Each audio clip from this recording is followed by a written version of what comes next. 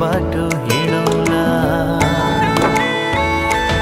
सम्म होइन डाँडा डाँडै पनि चढौँ